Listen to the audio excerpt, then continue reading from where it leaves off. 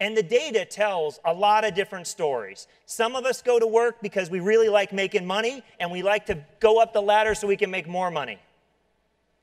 Some of us, we like to go to work because we want progressive responsibility.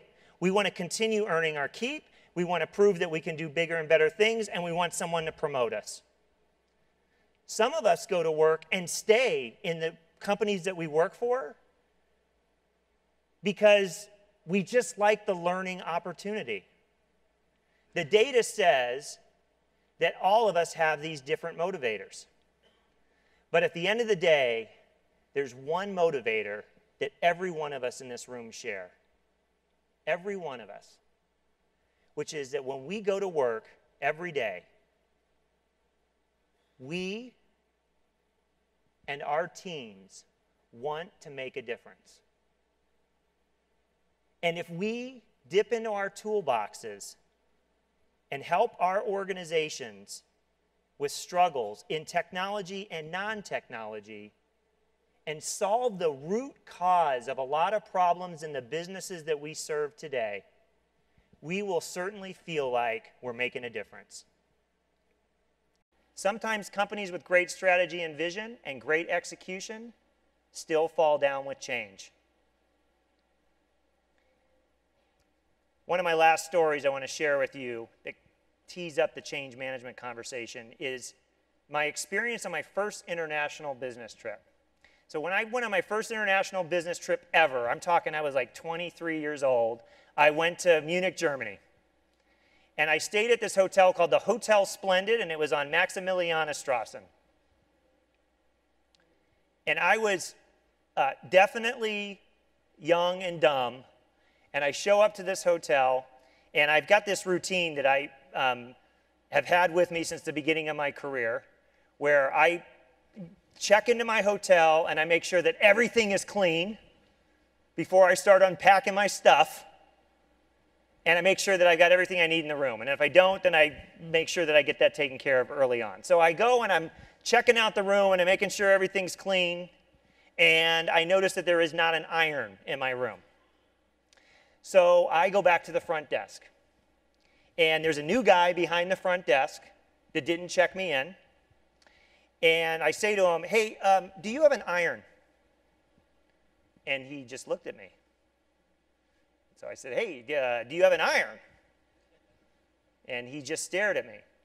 Kind of stupid American thing to do, right? Everyone in the world must speak English. So clearly he wasn't getting my message. So what did I do? I spoke more loudly. Hey, do you have an iron? That did not help at all. He just looked at me and he still didn't understand what I was saying. So, what did I do next? Sort of the indiscernible gestures, touching my clothes. Do you have an iron? So I was pretty sure he didn't know what I was saying because at the end of this whole thing, he opened up a drawer that was like big enough to hold three pencils, and he's like, I don't have an iron.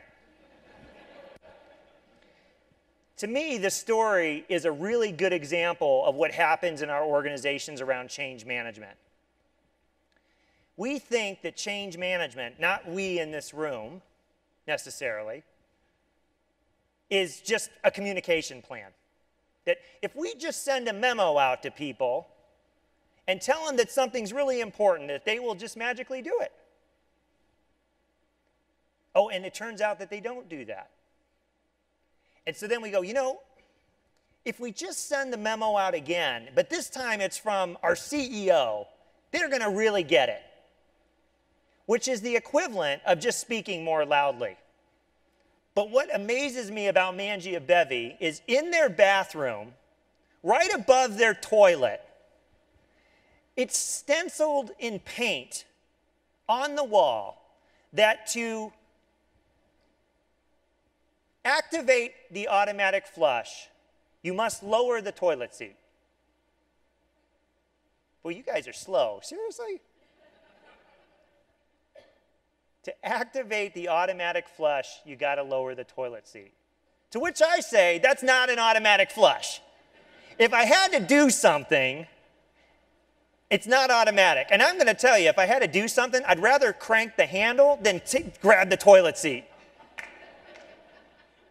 But what Mangia Bevi has done is they've tried to make change management about communications and training. And they've decided they're going to train every guest that walks in that restaurant on how to use that toilet, as opposed to calling the plumber back to actually fix the problem or to say, you know what, that's a faulty design. Give us another automatic toilet because our guests don't want to lower the toilet seat to activate the automatic flush. Design and good design is a great change enabler. Those types of things can impact the business.